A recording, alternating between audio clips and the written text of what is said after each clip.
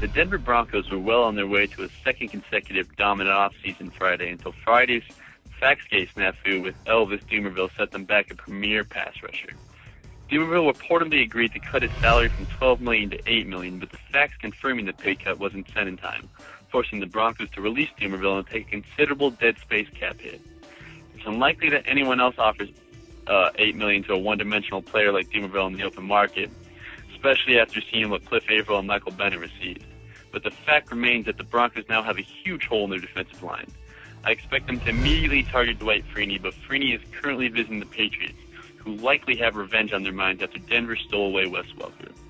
I wouldn't be surprised to see if the Pats target Dumervil as well with their pass rushing needs, and they could front load the contract to prevent the Broncos from countering. Regardless, it's going to take some serious creativity from Elway and company to figure out how to replace Dumervil.